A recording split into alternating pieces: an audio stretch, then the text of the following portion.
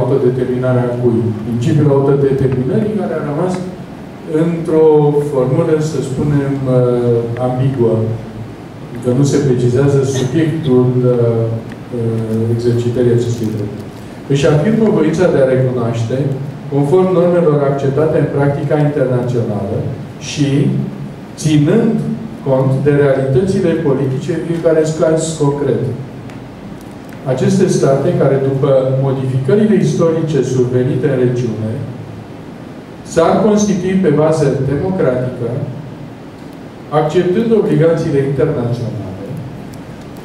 pertinente și angajându-se cu bună credință într-un proces pașnic și supus negocierilor. Și între criterii se cere, deci ceea ce ar implica, de fapt, adoptarea unei poziții comune a statelor membre și a comunității, respectarea inviolabilității teritoriale, limitelor teritoriale, care nu pot fi modificate decât prin mijloace pașnice și de comun acord. Deci reluarea, uh, reluarea filozofiei acordului de la, de la Helsinki e adevărat, însă, dacă ne reamintim uh, elementele de bază de la Helsinki, ale uh, acordului esențial între Uniunea Sovietică de atunci și Occident, Uniunea Sovietică avea interesul unei confirmări a frontierelor de răsărit, zona poloneză, să spunem așa, și sferele de influență în, în Europa Centrală, iar uh, statele occidentale interesante în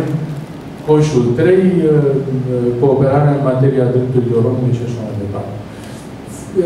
Este foarte interesant să înțelegem în perspectivă felul în care s-a organizat destructurarea unor entități politice construite după primul război mondial. Adică, practic, cele trei entități federative, confederative, construite după primul război mondial, au fost destructurate după încheierea războiului rece și uh, Uniunea Sovietică, și Cehoslovacia, și, sigur, Iugoslavia în această formă. Iar Kosovo, pentru rațiuni care țineau și de organizarea constituțională a fostei Iugoslavii și mențiunile care s-au făcut atunci, faptul că ea nu a fost prinsă ca o regiune între celelalte, și pentru rațiuni, până la urmă, de istorie în uh, Iugoslavia, în aceste condiții, sigur că procesul de uh, statalitate, de dobândire a statalității, în mod gradual, a creat probleme interesante și, sigur, nu știu în ce măsură domnul Apisari cunoștea uh, elementele uh, din elementele de fapt din zonă, probabil cu timpul de aflat, dar sigur, din punctul de vedere al dreptului internațional, soluția pe care a preconizat-o nu era perfectă, ca să nu spun mai mult. Uh, mi se pare uh, extrem de, de interesant să privim problema, chestiunea aceasta a uh, Kosovo, a provinciei, a statutului său, nu doar în relația strictă cu Belgradul, cu Serbia, relația, pentru că este vorba până la urmă de o chestiune mai largă, care intră într-un mecanism care sigur că este legat de o anumită perspectivă internațională, a ordinii internaționale. Uh, îmi permit să vă spun că, din informațiile mele, uh, recent la Paris, la o expunere pe care uh, ministrul de externe, Titus Corlățean, la Institutul Legal de Institutul francez de Relații Internaționale, la IFRI, la invitația lui Thierry de Montbrial. Prima întrebare care a fost adresată a fost aceea care este rolul planificat al României în Balcani. Nu am informații în legătură cu răspunsul pe care l-a dat domnul ministru, dar uh, uh, mi se pare foarte interesantă întrebare și asta ne duce până la urmă și la o anumită concluzie necesară în ceea ce privește evaluările pe care le facem și în condițiile în care Iugoslavia a dispărut ca entitate majoră a Balcanilor, problema este dacă reluăm până la urmă o anumită abordare de după primul război mondial numai înțelegerea balcanică, dar toată filozofia balcanilor, sau în momentul în care uh, țările din grupul Visegrad au fugit spre Occident, spunând uh, haina balcanică ne deranjează, dacă România își menține o anumită oscilație, pe, oscilare pe care a făcut-o din punctul de vedere al profilului, uh, al profilului geostrategic uh, și, care, și felul în care această chestiune poate fi regândită din punctul de vedere al unei abordări mai active uh, pe această zonă. Poate ne răspunde la această întrebare doamna Oana Popescu, sigur și alte chestiuni pe care dorește să le prezinte. Mă bucur foarte mult că sunteți alături de noi și vă invit să luați Mulțumesc frumos uh, pentru, pentru ridicarea mingei la fileu, ca să zic așa. Uh, și culmea că nu ne-am vorbit pentru că am, am întârziat și n-am apucat, lucru pentru care îmi cer din nou scuze. Uh, însă, da, noi, uh, noi am plecat la Global Focus exact de la, de la ideea că, sigur, poziționarea României ca jucător important la Marea Neagră este în perfectă concordanță cu obiectivele noastre naționale de securitate. În același timp, însă, cred că ea s-a făcut puțin cu uitarea faptului că rolul poate mai natural al României uh, este în mare măsură în Balcani. A fost o lungă perioadă de timp în Balcani și dacă avem uh, un, un rol de jucat la Marea Neagră, cred că el nu poate fi decât ca punte de legătură uh, a Balcanilor cu Marea Neagră trecând prin România, motiv pentru care am, uh, dacă, dacă sunt uh, astăzi aici, vă, vă vorbesc și ca uh, prim organizator, ca să spun așa, a unui eveniment cu parlamentari kosovari, reprezentanții elitelor, jurnaliști kosovari în România în decembrie, și de asemenea organizatori împreună cu um, un think tank din Slovacia fondat sub Slovak Atlantic Commission, um, Central European Policy Institute, a primei dezbateri la care sârbi și kosovari, la nivel de viceministri de externe, au stat împreună la masă în aprilie, exact în ziua semnării acordului, care cred că este într-adevăr unul istoric. Și, și dacă am făcut toate astea, uh, a fost pentru că am considerat că în România s-a ignorat o bună perioadă de timp o, un potențial de proiectare a influenței de politică externă care poate fi făcut prin intermediul societății civile.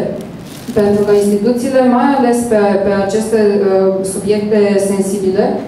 au o capacitate limitată de manevră și este firesc să fie așa. În schimb, în societatea civilă, putem să, să completăm cu, cu lucruri care sporesc influența externă a României, sporesc capacitatea de a lucra cu parteneri, iată cum este cazul Slovaciei, într-un, într mod care cred că poate fi în continuare util și pentru instituțiile statului. Um, și o să, o să vă spun puțin um, din, din discuțiile uh, de la Bratislava, întâlnirea pe care am organizat-o,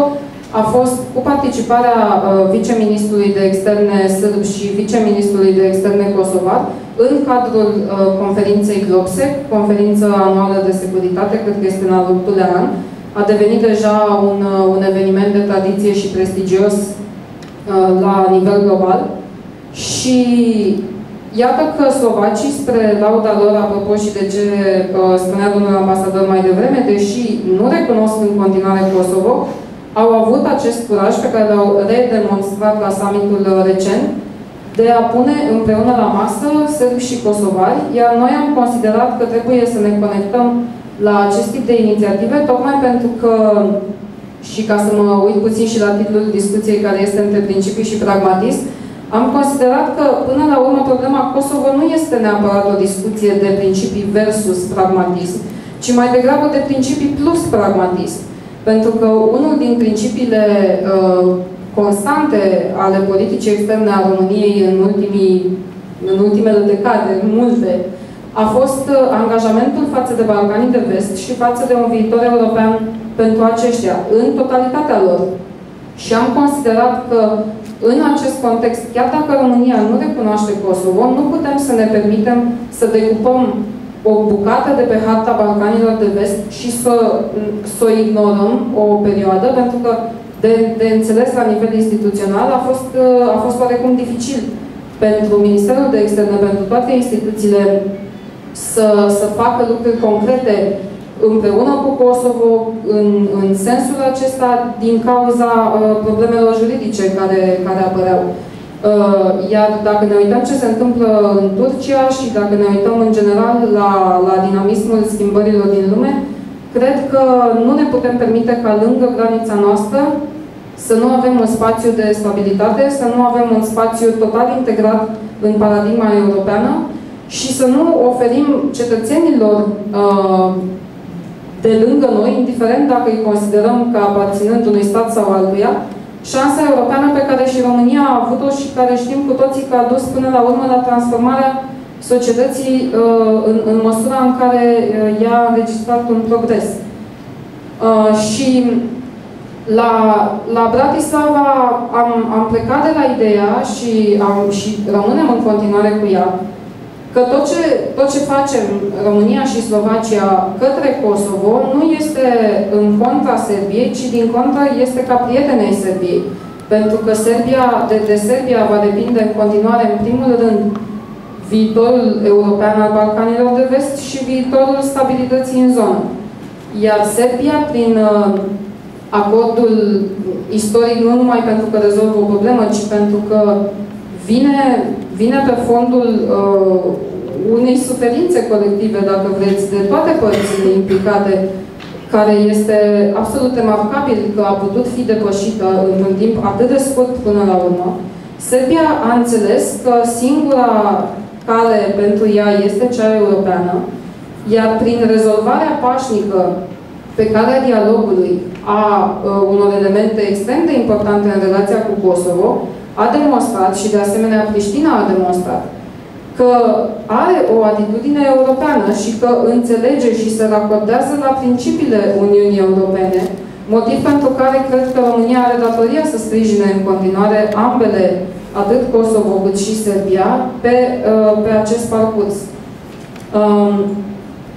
am, am considerat de asemenea că acordul mediat de UE este și o infuzie de energie în procesul de extindere,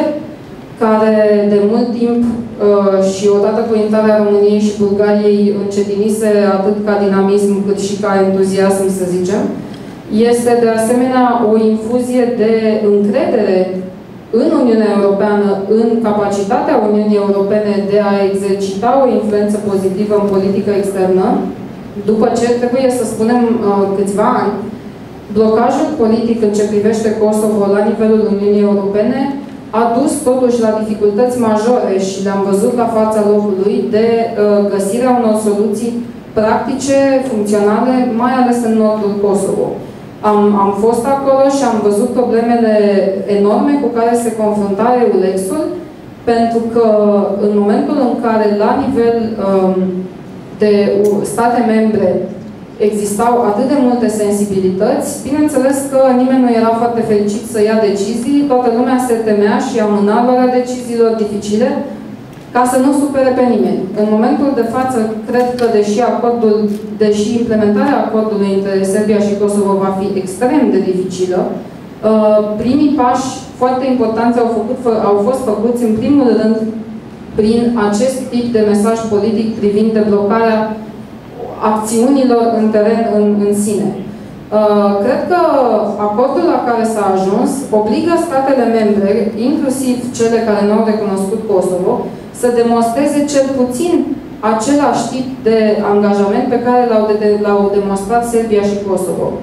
Pentru că dacă două state care au fost în război până nu de mult până la urmă, pentru că să ne uităm Uh, ce înseamnă pentru România procesul de tranziție din 89 încoace și cred că puțin dintre noi considerăm că timpul care a trecut a fost extrem de lung. Cred că încă simțim multe dintre elementele acestei tranziții. Dar aminte pentru Serbia și Kosovo, care acum uh, 10-15 ani aveau în continuare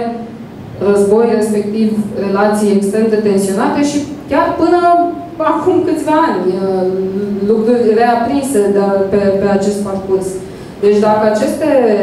dacă Serbia și Kosovo au putut să facă acest pas, cred că este datoria statelor membre ale Uniunii Europene să demonstreze că pot cel puțin tot atât. Și atunci România cred că trebuie să treacă din poziția de o poziție constructivă, să spunem, de până acum, pentru că cred că poziția noastră a fost bine înțeleasă de către toată lumea. Nu cred că am fost considerați uh, obstrucționiști, însă cred că putem să trecem la a fi jucători, în general în politica externă, la a fi creativi, la a nu interpreta dreptul internațional într-un mod extrem de rigid, ci, uh, ci a proiecta influența de care, într-adevăr, suntem capabili. Și, de asemenea, aș insista asupra faptului că o schimbare de poziție cred că trebuie făcută neapărat în coordonare cu Serbia, neapărat în coordonare cu partenerii europeni, motiv pentru care noi continuăm uh, acest proiect pe care îl avem împreună cu colegii din Slovacia. Vor fi întâlniri la București, vor fi întâlniri la Priștina, la Bruxelles, la Bratislava, Uh, va fi un policy paper cu recomandări pentru ambele guverne uh, cum pot să aibă o poziție constructivă față de problema Kosovo, tocmai pentru că um, considerăm că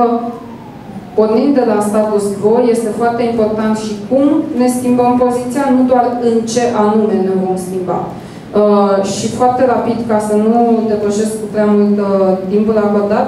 o să vă mai citesc câteva dintre concluziile noastre cu privire la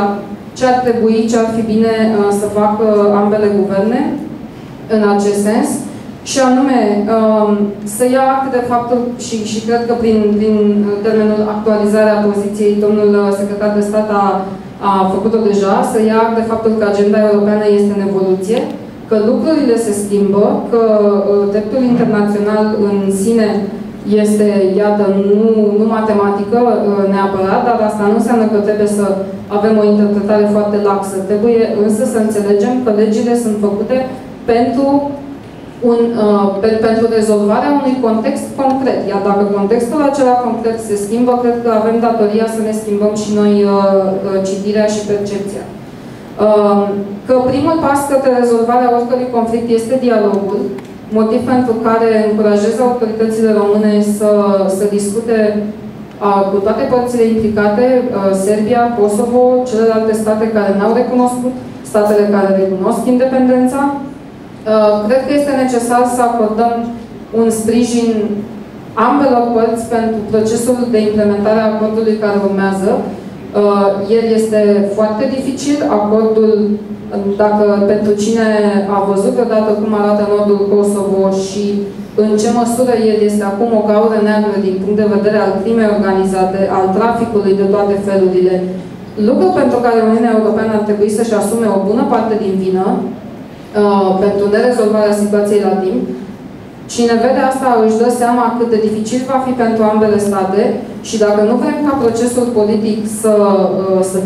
să derapeze în mod major, Cred că România, care a avut trupe exact acolo și care au fost extrem de eficiente și bine primite de ambele părți, are datoria să continue să acorde acest sprijin. Um, de asemenea, cred că, sigur, e, e dificil să decizi când, când faci pasul. Uh, dacă cumva se vorbește despre recunoaștere sau orice în zona respectivă, cred că prea devreme ar însemna mult prea devreme pentru Serbia uh, și mult prea devreme pentru că ar modifica balanța de putere destul de fragilă la care s-a ajuns acum. Prea târziu însă înseamnă că România nu va mai putea să obțină niciun beneficiu măcar de imagine din acest act, pentru că dacă ne referim la pragmatism, cred că este cazul să ne gândim și că este totuși un gest pe care aliații uh, euroatlantici îl vor aprecia, au toate motivele să-l aprecieze, dacă îl vom face când, când va fi ceasul al 11-lea și, și mișcarea va fi aproape inevitabilă, nu vom mai putea să-l vindem ca pe un act responsabil de politică externă neapărat. Uh, Cred că, pentru a reveni la ce spuneam mai devreme, trebuie să avem o poziție politică proactivă, creativă, uh, în contrast, poate cu preocuparea mai degrabă juridico-birocratică de până acum, de cum să ne strecurăm ca să putem rezolva impasul în care, într-un fel, ne-a pus uh, poziția noastră. Cred că este cazul să continuăm și să intensificăm susținerea Serbiei, iar aici aș, aș fi foarte fericită dacă aș vedea că la un moment dat reușim ca în relația cu Serbia să depășim uh, problema strictă a minorităților. Cred că România tinde să abordeze mult prea mult relația cu vecinii, fie că e Serbia, fie că e Ucraina, de pildă, strict prin prisma minorităților. Sunt state cu care avem relații tensionate sau aproape inexistente. Nu mă refer aici la Serbia, mai degrabă la Ucraina a aborda relația, în primul rând, prin prisma subiectului celui mai sensibil și care te desparte de celălalt, nu e o cale constructivă de a o ridica la un nivel politic superior, lucru care cred că cel puțin cu Serbia se poate face pe deplin. Uh, deci cred că ar fi cazul să fim previzibili uh, în contact cu partenerii europeni și de asemenea cu Serbia uh, în, în problema minorităților, una în care, într-adevăr, am dat cecul în alb Serbiei foarte mulți ani de zile, uh, nemeritat, îmi asum uh, să, să spun asta, dar și modificarea poziției uh, într-un mod oarecum peste noapte și agresiv, nu cred că poate fi înțeles de, de partea cealaltă. Și în final, cu, cu privire la, să zicem, problemele interne pe care le-am putea dezgropa Uh, printr-o recunoaștere a Kosovo, o schimbare de poziție, cred că uh, adevăratul motiv pentru care România n-a recunoscut Kosovo ține de dreptul internațional, iar mitul irredentismului maghiar, care a fost adus ulterior în conversație și întreținut foarte mult, a creat mai degrabă un deserviciu pentru că a creat impresia că se poate face vreun fel de asemănare între uh, problema minorităților din România și cea din Balcani, lucru care nu este doar absolut fals, dar este total neconstructiv, pentru că inclusiv statele vestice ne spun că ar fi încântați dacă noi am transferat vecinilor noștri experiența noastră și modul pozitiv în care am rezolvat această problemă. În niciun caz că ar fi vreo, vreo similitudine între cele două. Iar noi vom, vom iniția în curând și un, și un proiect care ține exact de asta, un program de mentorat între experți români care au fost implicați în, în implementarea și desenarea cadrului legislativ privind minoritățile și uh, experți din Serbia, Kosovo și Bosnia. În consecință, um, sper că și Ministerul de Externe și nivelul politic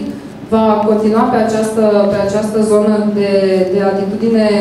constructivă Uh, și că, de asemenea, implicarea societății civile în dialogul cu instituțiile va, va continua poate mai mult decât până acum. Mulțumesc! Mulțumesc foarte mult, uh, domnului Antoana uh, Vulescu și mulțumesc în mod deosebit pentru abordarea sa extrem de optimistă. Știu că domnul ministru, domnul secretar de stat Ceamba, trebuie să meargă la o altă întâlnire. Îi mulțumesc foarte mult pentru prezență, dar uh, uh, trebuia să spun poate de la început, uh, se află aici un alt reprezentant important al Ministerului de Externe, Radu Podgoranu, secretar de stat în minister, și sunt absolut convins că în felul acesta relatările pe care le, le va face ultimul Uh, ultimului uh, invitat pentru, pentru prezentarea unei poziții, domnul Ștefan Popescu, vor fi relatate la nivelul conducerii prin intermediul său. Îi mulțumesc foarte mult uh, domnului secretar de stat Ceamba și mă bucur că nu va fi prezent când voi spune, voi relata o experiență personală legată de organizații neguvernamentale și anume dezbaterea din zona din zona internațională socialiste, în urmă cu mulți ani în legătură cu acest subiect. Și uh, acum pot să vă spun. Uh, a fost, uh, deci în cadrul internațional socialist există un uh, comitet, exista un comitet uh, pentru Europa de Sud-Est și la un moment dat am produs uh, acest uh, acest comitet împreună cu uh, uh, cu fostul premier al Greciei,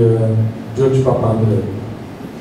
Eram copreședinți pentru acest comitet al Internaționalei Socialiste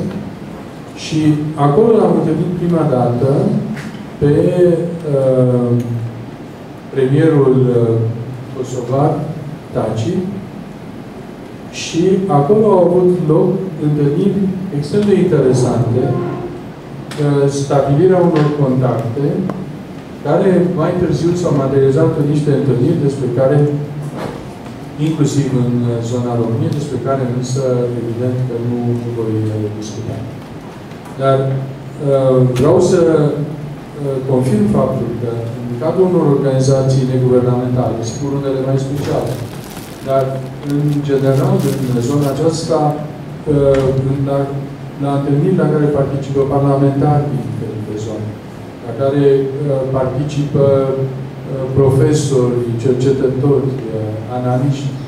lucrurile pot să fie duse spre o zonă a dialogului care este extrem de important. Îi mulțumesc încă o dată doamna Ioana Popescu și uh, îl rog pe domnul Ștefan Popescu uh, să nu abuzeze de răbdarea noastră. După o suită de, uh, de intervenții extrem de interesante, acum mă că și asta va fi foarte interesantă, dar eu cred că ar fi foarte util ca la sfârșit dacă vor dori uh, președintele Comisiei de Politică Externă, secretarul de state la externe, să, dacă vor dori să adauge poate un comentariu, ar fi lucrul acesta foarte util. Vă spun de pe acum că uh, voi uh, sugera să nu extindem prin întrebări și comentarii discuția de astăzi, ci doar să le dăm ocazia invitațiilor noștri speciali să uh, poate să adauge câteva cuvinte urmând ca noi să ne revedem și cu uh, alte ocazii pentru a continua această discuție. Deci asta se numește atacul preventiv. Descurajarea. Suasiv. Da, îi dau microfonul lui Ștefan Mulțumesc, domnule președinte. Eu voi vorbi uh, că a fost student în Republica Albania, la Tirana, și salut prezența domnului ambasador Gheorghe Micu, care mi-a fost mentor și mi-a făcut să iubesc Albania, dar într-un mod obiectiv. Ca unul care și-a continuat studiile despre Albania la Paris, teza mea de doctorat de la Sorbona uh, se referă la Albania în politica externă franceză, după care am fost de mai multe ori în Kosovo și în calitate de jurnalist la Radio France International, dar și ca cercetător. Dar înainte de a, vă, de a mă ocupa puțin de factual, că aceasta nu s-a prezentat, aș vrea să încep cu o mențiune istorică. Problema Kosovo, sigur, ca istoric e foarte simplu să spui, da, domne, era o bombă cu ceas. Dar așa este. Pentru că uh, după primul război mondial, când s-a discutat foarte mult la Paris de principiul naționalităților, S-a discutat și problema Kosovo și au fost constituite mai multe comitete cu geografi Chiar frontiera României, ne aducem aminte de Emanuel de Marton, care este unul din părinții frontierelor românești. Ei bine, și în chestiunea Kosovo, Albania, a existat un geograf, Jean Brun, colaborator al lui de Marton, care a scris o lucrare de, destinată Chedorseului, în primul rând lui Clemenceau, limitele posibile ale Albaniei. Ei bine, parcurgând această lucrare, vedem foarte bine că albanezii câștigaseră deja bătălia demografică în 1918, iar sârbii o pierduseră. Uh, recomandarea și raționamentului propus lui Clemenceau a fost că din moment ce Albania a fost uh, încredințată sferei de influență italiană, prin tratatul care a permis Italiei să intre în uh, primul, care a convins Italia să intre alături de Antant în primul război mondial, ei bine, ar fi foarte bine să lăsăm Kosovo Serbiei, pentru că oricum întreg edificiul, Kosovo făcea parte din Serbia, dar întreg edificiul fusese zdruncinat în timpul